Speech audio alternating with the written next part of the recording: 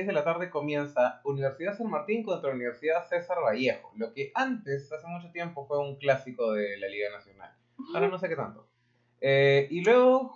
Eso te iba a decir, se han perdido muchos clásicos en la liga. Sí, pues. Porque antes, por ejemplo, era un clásico eh, ver la alianza con Sporting Cristal. Ajá. Era un clasicazo. Era un super clásico, se llenaba, la- había expectativa afuera del coliseo, era una fiesta. Pero ahora ya no vemos eso. Claro. Para empezar no vamos, pero eso no lo vemos. No, pero ya no se vive esa, eh, eh, digamos, eh, esa, Esas rivalidades. sí, ya no existen. Lo mismo pasaba cuando jugaba Géminis con Alianza.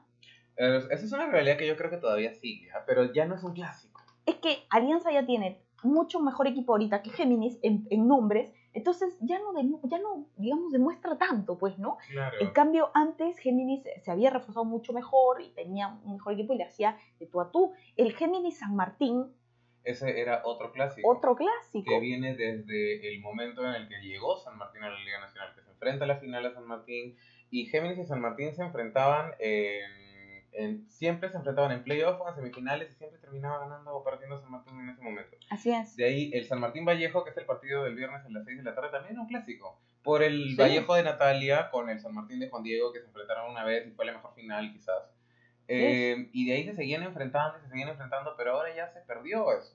Sí, hay muchas cosas que, que la liga ha ido perdiendo, que la verdad es que es una pena. Eh, San Martín Vallejo. Sí. Era el clásico universitario. Claro, ahora como que es, a ver, lo más interesante de ese San Martín Vallejo esta semana va a ser que es Martín Rodríguez contra el equipo que lo usó durante los últimos seis meses de la temporada Sí. y luego le dijo chao. Así que Martín, este es tu rancho. Esta es tu revancha, Martín. Bueno, Pero bueno, ya iremos, eh, haremos en un programa especial, hablaremos de las cosas que se han ido perdiendo en la liga. Porque mucho podríamos hablar de las cosas que se han perdido, pero muy poco de las cosas que se han ido ganando. ¿ah? Creo No. que estamos es que la liga... en 10 realidad- contra 2. La liga solamente ha ido perdiendo cosas, ¿ah? O sea, desde... A ver, parece ¿A mentira. A ver. Parece mentira. Del verbo a ver. en el diccionario de Tony Montenegro. A ver. Sí, sí. Un día vamos a hacer un programa de bloopers con todas las veces que me he trabado la lengua por rápido. Sí. Ya. Hola. Eh, Renato Matos también nos dice que uno de los clásicos que ya no existe es la Universidad San Martín Vallejo. Sí, pues ya no Ah. existe. Eh, no sé de qué iba a decir, se me fue con el Abir. Es la- ha habido, eh, no, estábamos diciendo que más son las cosas que la liga ha perdido que las que ha ganado. Gracias. Eh, el problema con las cosas es, mira, incluso el Polideportivo de Callao puede verse como una ganancia, pero en realidad no es una ganancia, es que perdiste el Bonilla. Exacto. Perdiste el Bonilla.